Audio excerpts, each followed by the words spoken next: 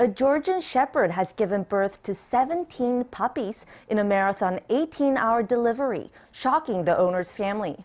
Nine females and, eight male puppies born this summer have now turned one month old and are all healthy and well taken care of.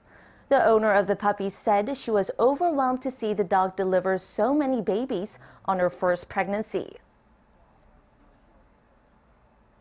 The first was born, then in a little while the second one, the third, the fourth. When the tenth puppy was born, it was already night. I was in a shock and did not know what to do, but it went on and on.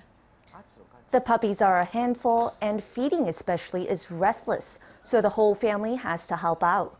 The 17 brothers and sisters will eventually have to be separated and find their new homes, but for now, they're healthy and happy as one supersized family.